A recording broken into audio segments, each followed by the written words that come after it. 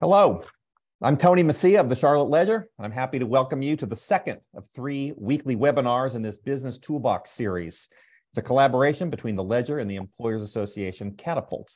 This series is designed to help small and mid-sized businesses address common challenges, and today's topic is build a better workforce, how to recruit and retain top talent. That's certainly a, a hot topic with the labor market um, being what it is. We'll, we'll dig into that today. And next week, just to give you a preview, in our series finale, the topic is exploring healthcare options.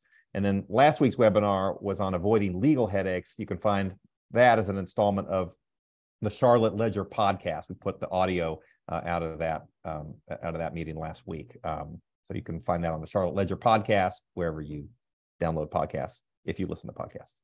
As I mentioned, this webinar series is the result of a collaboration between Catapult and the Charlotte Ledger. Catapult leverages six, uh, I'm sorry, Catapult leverages 65 years of HR experience to serve more than 2,000 employers across North Carolina and beyond. Catapult's HR and business experts help employers address immediate and long-term challenges with customized solutions, trusted advice, exclusive resources, data-driven insights, and a vibrant member community. You can learn more about Catapult at letscatapult.org. The Charlotte Ledger is a digital publication that delivers smart, original, business-minded news and insights for Charlotte, primarily through an assortment of email newsletters. We think Charlotte deserves more relevant and credible sources of information, and we're working to build that. And if that sounds good to you, you can find out more about the Charlotte Ledger and sign up for our newsletters at thecharlotteledger.com. Today, we're having a discussion with Kendra Stewart of Catapult. Kendra L. Stewart's passion has always been figuring out complex problems as a consultant for people to help empower their business and professional development. She has over 25 years leading HR initiatives in multiple industries, including technology, energy, services, and healthcare. And she has expertise in talent development, workforce planning, strategic HR implementation, and management consultation. Uh, she likes to joke that she knows enough to be dangerous in every HR function, but not so dangerous to, quote, end up in jail. So we're happy you straddle that uh, balance there, uh, Kendra. Uh, Kendra holds a master's in HR management and organizational development from Loyola University in Chicago, a bachelor's in biology from the University of Michigan, as well as professional certifications, and she is based in Charlotte. And as I mentioned, Kendra and I are going to have a discussion for about 20 minutes, and then we'll definitely leave time for your questions. And if you have questions, put them in the chat and, and we will get to them. We're going to talk today about recruiting and retention questions, such as how to find qualified workers in a tight job market, how recruiting has changed over the years, and how to keep workers motivated and incentivized, or hopefully leave you with some good tips and strategies that you can use. So Kendra, uh, welcome. Hi, thanks. I'm so glad to be here. Yeah, it should be fun. Uh, let's start with a general question. What's going on right now with the labor market and the demand for workers, and how is that affecting businesses?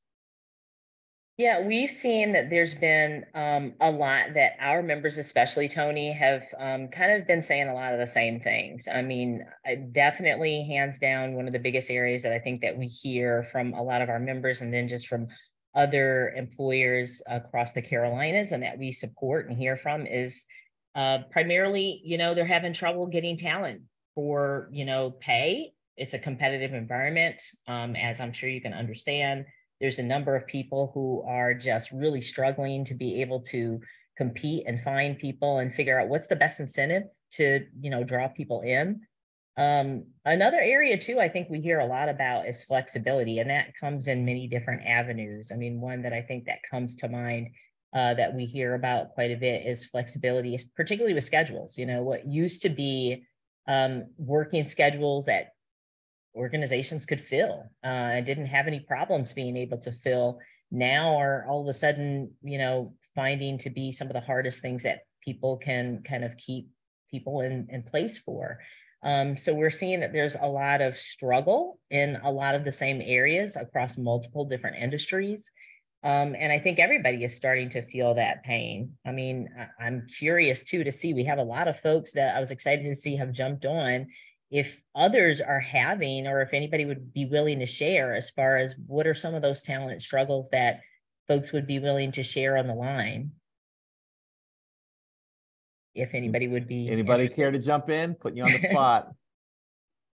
Well, I know, I know coming from um, landscaping as far as hardscapes and regular maintenance, you can't find any people who want to work today. You know, unfortunately, and if they do want to work, they want to be started at 20 $21 an hour. Yeah.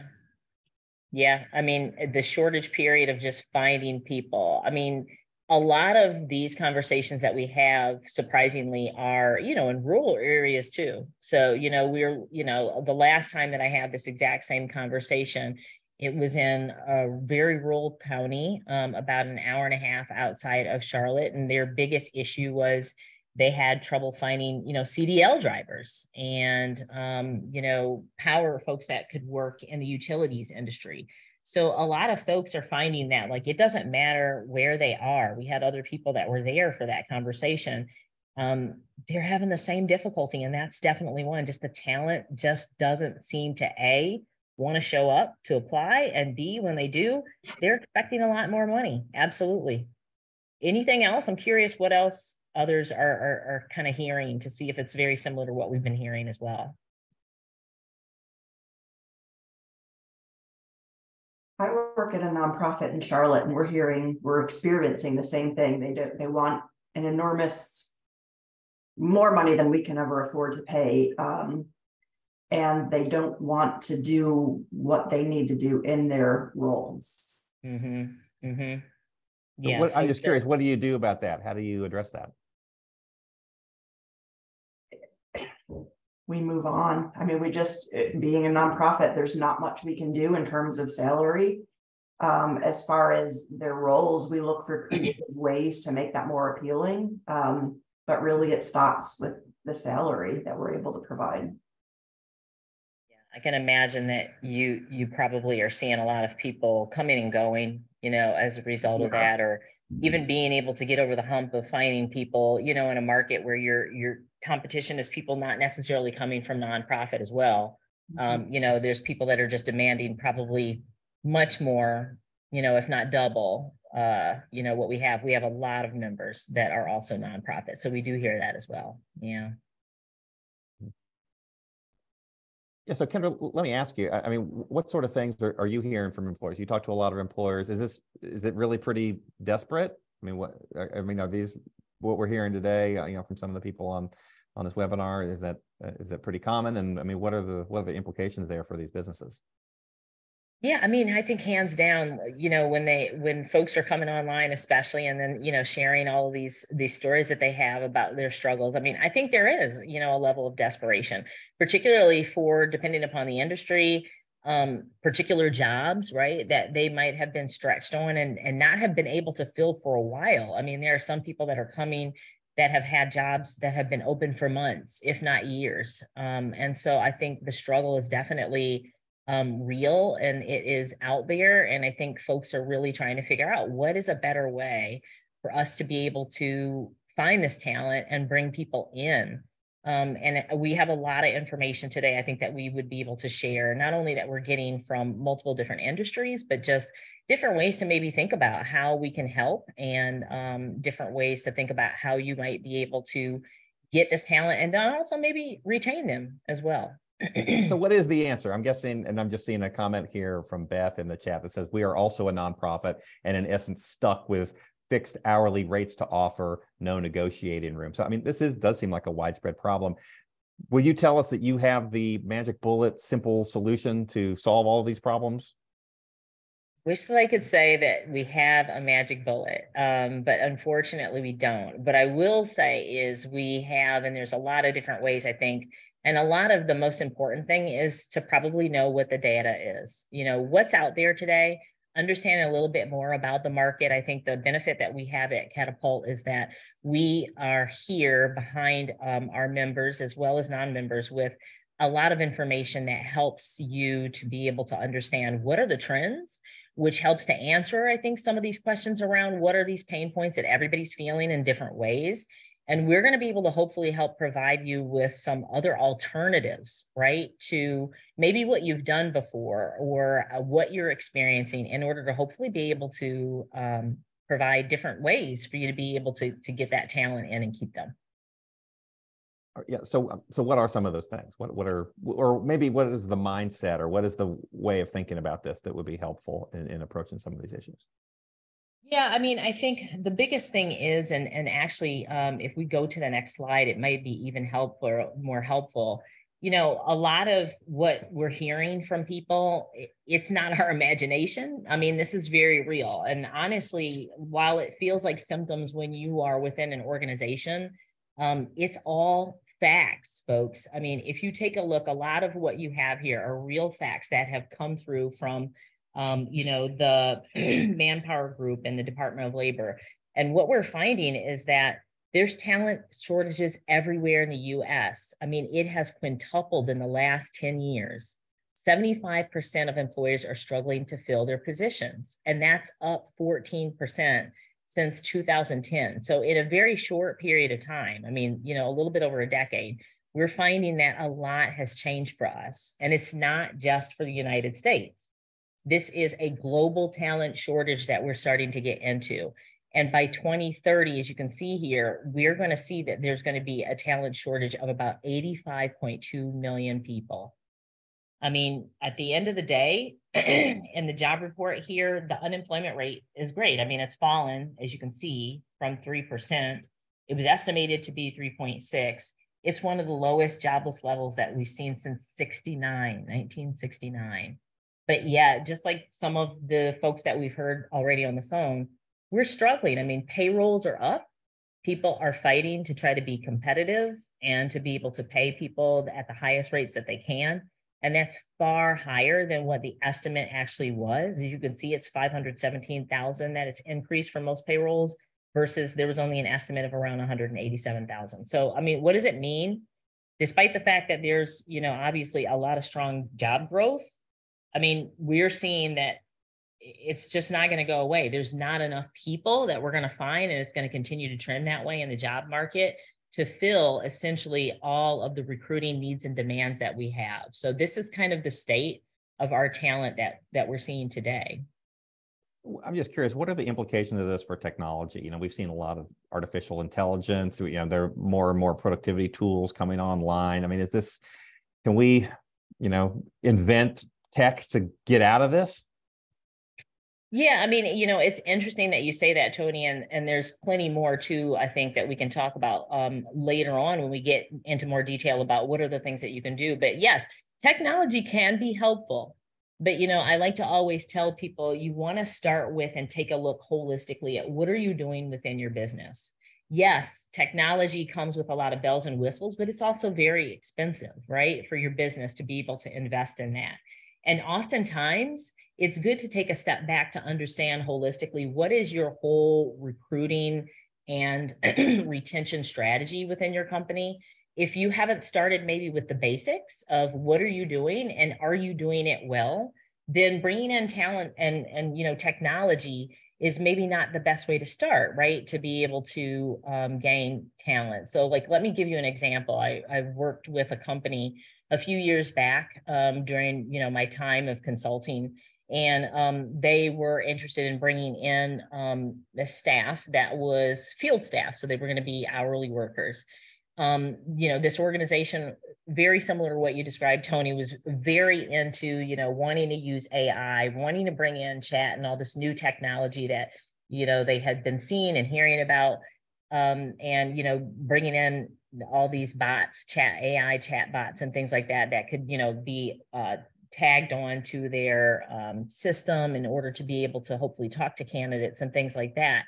But what we found when we kind of took a look deeper is that when they did consider bringing them in, their basics just weren't in place.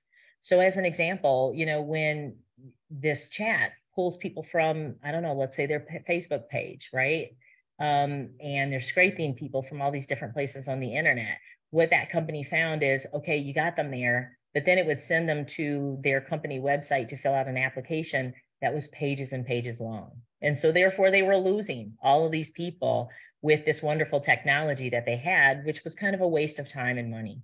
So the question is, is before you get that technology, think a little bit about what are you doing and maybe how can you improve the processes that you have. Sometimes it's about thinking differently rather than going after the bells and whistles with the basics that you have. Okay let's dig in on that. How do how do i if i'm a business how do i think differently? What are some creative ways or or some potential solutions? Yeah. So the biggest thing that I always tell and like to think about for folks is, you know, you ask yourself the question then, um, what what is your candidate experience, right? So let's start from there as an example. Um, one of the things that uh, we actually there was a survey I think that came from LinkedIn that said about 67% of most of the candidates that apply on LinkedIn, as an example, usually don't finish the application process. And that's just because of the fact that it's too cumbersome. So let's take a step back as an example. Before you start moving to technology, this is what I mean about take a look at the technology that you have, your ATS systems, your recruiting systems, and how you're doing it. Is it duplicated? Do you have a candidate have to repeat a number of things over and over again? Um, is it even, you know, electronic? is it mobile friendly is it something that a person can do from their phone without having to you know do it from their phone drop and then end up going to a computer as an example these are things that you might need to take a look at in order to maybe consider i need to change these things and these are things that are easy simple low hanging fruit things that i can do um, that would end up being able to make it a little bit easier I mean, another thing is, you know, we live in a world that's full of Amazon related project products, right? I mean, you go to Amazon, you get communicated to about where your package is every five minutes if you want to. And I mean, that's what employees are looking for as well when it comes to are you able to communicate how you're doing, how fast the recruiting process is? And that doesn't necessarily take technology. How often are you getting back to people? How clear and transparent are you being about what the process is? How prepared are your interviewers, right? Are you all setting up time in order to make sure that the people who come know what they should be interviewing for, know what they should be focused on, or are they unprepared and not quite sure what to ask the candidate and causing confusion? These sorts of things are all examples of what you could do differently, right? that could get in depth that you could change if you haven't already done it in order to put yourself in a better place for how you pull in that talent and how you make the experience better and faster and a little bit more efficient so that you can keep that talent when you have them apply for jobs. Yeah, that's sounds, maybe one good example. It sounds like you're saying sort of get your own house in order, make it easy to apply, sort of give them a, you know, establish a clear process, a clear vision, those sorts of things can help. But I'm, I'm guessing at, the same time, you know, it strikes me we have a lot of ways nowadays to reach people maybe that we didn't before. In the old days, maybe you'd take out a classified ad or something like that. Nowadays, we got all this, all these digital tools. You know, you got ZipRecruiter, you got Indeed, you got LinkedIn. I mean, how do I how do I know what to? I mean, you can. It seems like you can cast a pretty broad net but people are saying, well, I'm not getting the quality of candidates that I am accustomed to getting. It seems like there's a little bit of a mismatch there. What are some of the the, the actual tactics about the outreach and finding finding folks? What are what are some uh, you know best uh, best ways of doing that? Yeah, I mean, I think it's a two pronged approach, right? I think you got to think about um, how are you looking for candidates. One of the biggest things that I think we like to also remind people of is to consider taking a step back what are you even presenting to candidates to apply for? You know take a look. We often tell people what's in your job description? What was the last time you actually looked at the description that you use as a posting? I mean these days you're going up against like uh, you know a lot of really great competitors and they've got their marketing you know departments that are writing all these swanky cool sort of job descriptions in order to really pull people in and and you should do that too. If you have not taken a look at how you're drawing people in with interesting things about your company interesting benefits that would grab all generations as an example um, things that you could do differently and things that are within your power to be able to do in order to pull talent then that's one really strong simple way you can do it. So as an example um, you know, there's a lot of companies that have started to put as far as what, their summary is for their organization, all the great things that they offer. And they do it so that hopefully they can catch and pull in people generationally. Um, I've heard of a lot of companies these days, as an example, that are starting to put in that they are starting to pay as a benefit for some of the educational expenses for com- for organizations. I mean, that's something for somebody who just got out of college is really important, right? Um, but on the flip side, also, what are some of the other benefits that you might be able to draw people in with?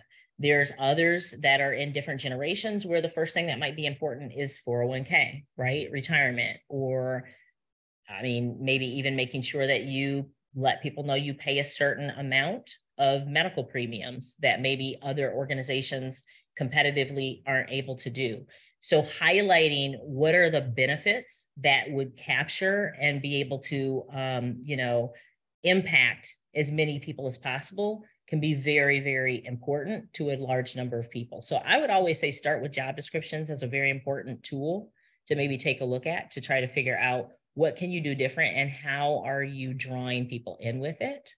Um, and then also considering what can you do as far as letting people know about all the great benefits that you do have that would be able to draw people in and hopefully be able to keep them as well. Yeah, and you touched on generational differences in writing job descriptions in a way that appeals to all generations. And we had a question from Beth who says, I hope, I'm hoping you can touch on generational differences in terms of expectations for new work or new to the workforce. And you know what what are some of those differences? What why do people and i know you, you hate to generalize and people have their own reasons for taking jobs but i do think surveys do show there is a generational shift.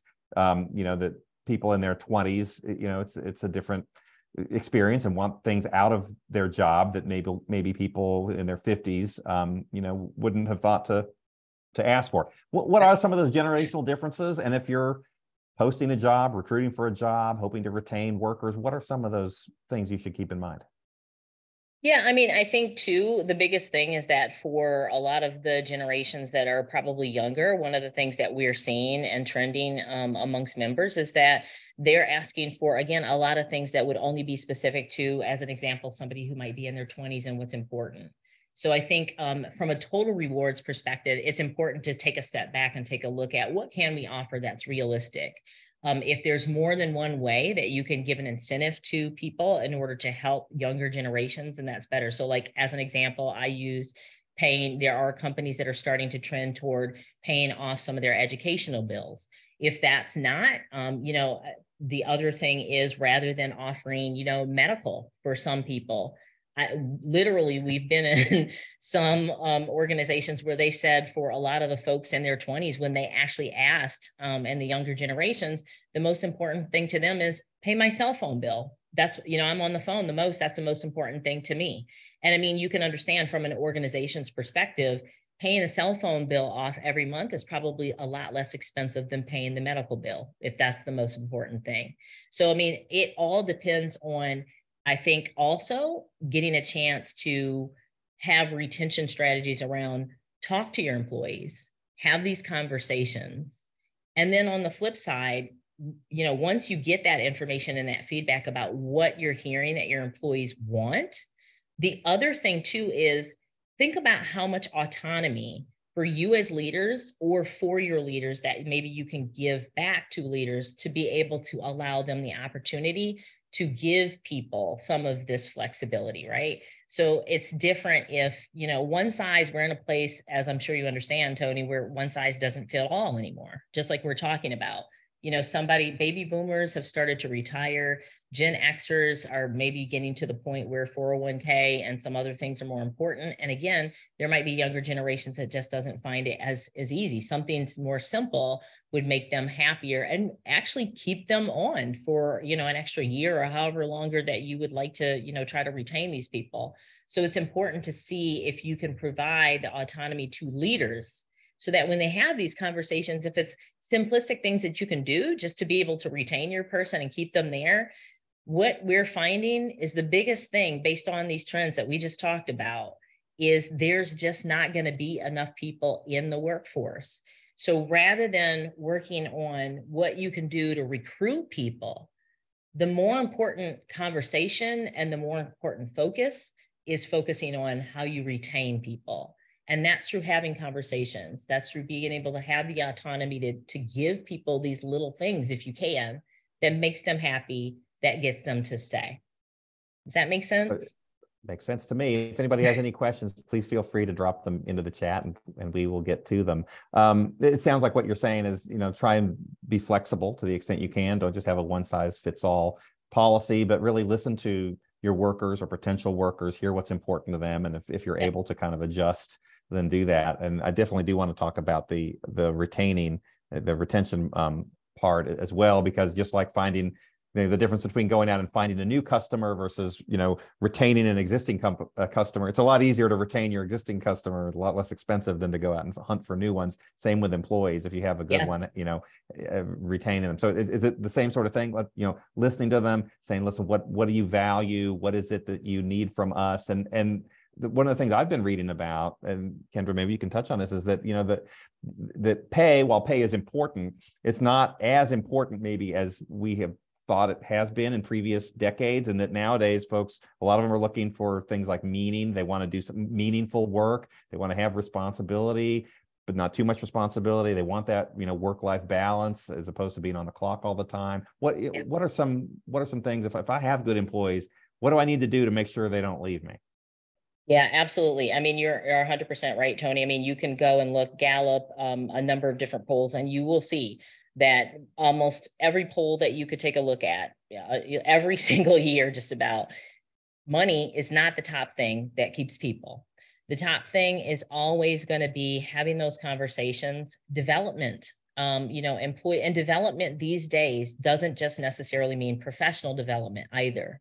Being able to help people, you know, whether it be personally, um, you know, from a mental health perspective or even from a professional and personal perspective in their growth is very important. And just like what you talked about, you know, from certain generations, certain things could be more meaningful to them. So being able to provide and have conversations to understand from your employee what are the things that they feel that they need to be able to grow and what can you offer to them are important. I mean, I think the other thing too, uh, when you're talking about, you know, the subject of having conversations with employees, sometimes having something as simple, oftentimes we wait until an employee is out the door, right? They've turned in their notice already, and we've kind of lost them before we start to reflect on what is it that we could have done differently and what is it that maybe has gone wrong or that we need to know for next time. Um, but we have a lot of companies that uh, have started to move to having stay interviews, which I'm sure a lot of folks um, have heard of before. I mean, uh, I was just recently at another um, event where I had a company that had a really great exit interview, I mean, excuse me, stay interview process where they literally every six months, I think they said they do a pulse survey uh, very simplistic. It's not anything where you need to have, you know, a big like a culture amp or some big organization that can come in and do it for you. And essentially, they asked them um, three questions: Have you thought about leaving? And if they have thought about leaving, um, why? And if they say no, then the last question is, um, what made you stay? In order to figure out like what are the reasons behind what are we doing right? Right. In order to keep the people here. So sometimes having these conversations is the most important thing because we're finding that the trends are showing that it's just going to be harder. I mean, you said it yourself, Tony, a second ago, um, that, you know, these days, the new statistic for, again, not the training side, not the orientation side, this is strictly 100% recruiting. It is still um, one half to two times the amount of a person's salary to recruit and replace them. So, I mean, you just think, I mean, let's do simple math a $100,000 job. You know, that could be anywhere from, you know, 50,000 to $200,000 just to replace one job. You're already in the hole, right? On top of the annual salary that you have to pay. It just doesn't pay anymore for us to only concentrate on how we recruit. We've got to spend more time on thinking about what are all the different alternatives in order to keep people in because we're going to get to a job market, unfortunately, where there's just not enough people to fill the job. So the best thing to do is to try to retain the folks that you have. Yeah, I think it's been really interesting to see, you know, the way different employers are doing doing that and trying to create that culture where people want to stay. I was at Camp North End uh, last week. I was interviewing somebody, meet them there four o'clock or four thirty. Software company at Camp North End. I walk in, and every Thursday at four o'clock, and this is the tech industry is sort of notorious for this, but you know they had like beer taps.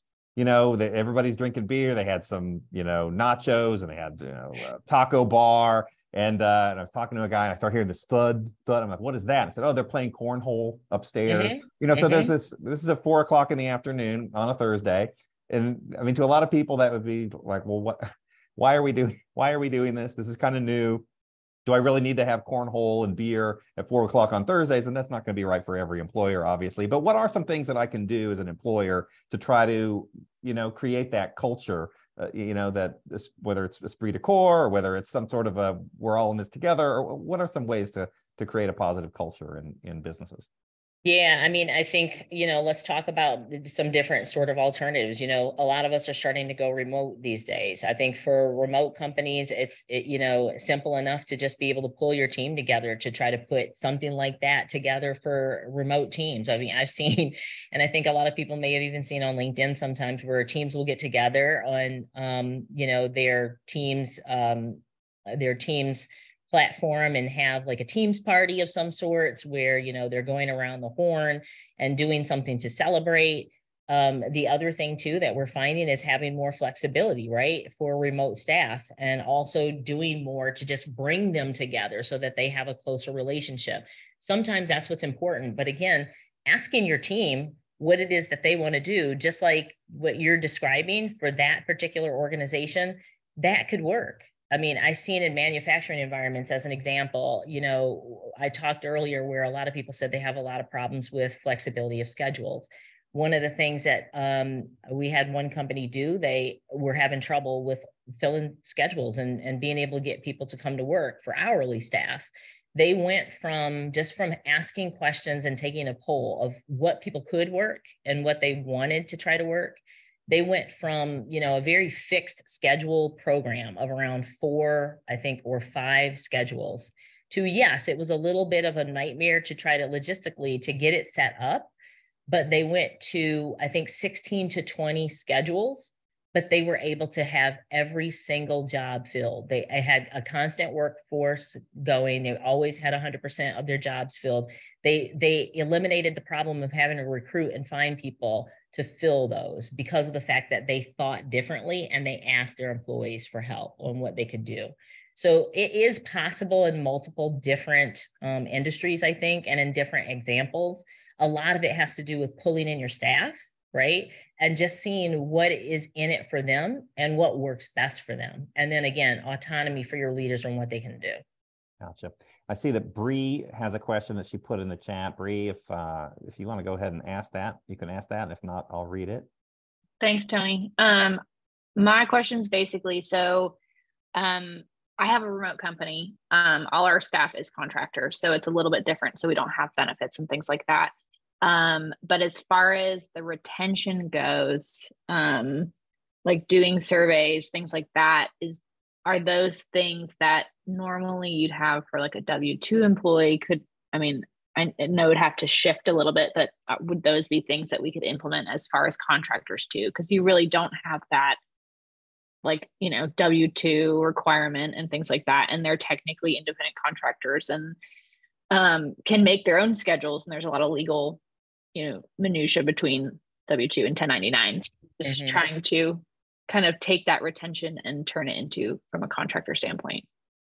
Yeah, I mean, I think that's a really good question, Bree. I think, um, you know, just to be able to capture, you know, your contractors, whether it's versus a W two or a 1099 person, I think just to be able to keep them engaged there's absolutely no problem with also being able to ask them what are the things that they would like to see done differently, whether it be for work processes, because at the end of the day, they're still involved in your work processes, right? So whether it be for um, operational related things you want to ask, or just ways for them to get to know the team better or be more engaged, I think that it's a great opportunity to be able to a uh, survey and and you don't even have to feel like you have to survey. I mean, again, don't always think that you have to go to bells and whistles in order to be able to achieve things with basics. So sometimes just sitting down and, and having like a focus group where you're just asking the question, right, as a leader, um, of your team or the next time that you have one-on-ones, just being active and thoughtful about asking the same questions in order to try to get at what are things that employees would like to see or have done would be able to help you, you know, even be able to retrain to retain your contractors as well. Okay, thank you. Mm-hmm. All right, we're almost at 40 minutes. If anybody has any other questions, feel free to, to drop them um, into the into the chat. Um, Kendra, are there any other things we haven't touched on that you're hearing a lot about, common questions that you get, anything like that? I, I mean, I think the the biggest thing that folks always have is that you know you you you're in your microcosm of your own organization, so you always are thinking like you know it can't be any worse than this particular problem or situation that I have. But I think it's good to be on calls like this for folks to understand that this is not just an individual problem. This is very real and it's a very factual problem that's impacting all of us. So in whatever way that you can A, think differently. So again, I think the biggest question is question, eh, you know, ask yourself, if you had to ask a candidate or you were a candidate in your organization, what do you think the experience can A, what is it like? What would they say about it? And B, what could you change about it? Like that's the one question. The second thing is your onboarding experience. Remember, orientation on the first day is not onboarding. And like we talked about, a lot of employees, what are the number one things that keeps them um, and, and also recruits people in is how you treat them, how you develop them. Onboarding is key. It's one of the main things that keeps people. If you do not have a strong onboarding experience, it's been proven that people will probably leave. So you want to ask that question, right? And then the last one, the, the third and the fourth one is again, we've talked a lot about what are the different incentives you can do? How can you be an employer of choice? And that comes down to thinking about benefits, transparency as much as you can with communications to people about what you're doing and, and how you're trying to be the best employer that you can be. Um, you know, providing work-life balance or whatever it is that people are asking, right, for to the extent that you can. I know you can't provide everything, but what's feasible, right? And then the fourth one is how are you adapting? So think back about all of these different things that we've talked about. Put yourself and your organization in that microcosm and in that box and ask yourself, have we changed? Are we still doing some things that we can improve on? What can I do about it as an individual or as a leadership team or a leader myself? And think about ways in which you can probably hopefully make those improvements or bring those improvements forward. Great. Well, I think that's a good note to end it on. Uh, appreciate it, Kendra. Thanks a lot. Pleasure to be here. And just wanted to give another um, shout out. We'll, we'll do one more webinar next week, May 24th. It's called Build Your Benefits Package, Exploring Healthcare Options. It's a Q&A uh, with Martha Barker, Catapult Benefit Solutions Manager. And you can sign up for that, the same place that you signed up uh, for this webinar, letscatapult.org. Uh, on behalf of the Charlotte Ledger and Catapult, thank you for joining us.